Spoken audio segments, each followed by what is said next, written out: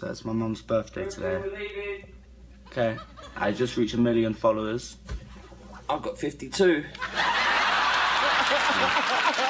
So David Beckham has this habit of embarrassing his kids, and to be fair, I'm here for it. So this story takes place way back on one of Victoria Beckham's birthdays, and they look fairly young, so I'm pretty sure this would have been a few years ago. And this was when Brooklyn first hit a million followers, and he was recording this video to post, essentially bragging or thanking his followers for following him. And David was trying to get everybody out of the house. He wanted to go out and assumably for some sort of meal or some birthday celebration. But then he heard his son Brooklyn just making this video and he kind of couldn't resist. This happened.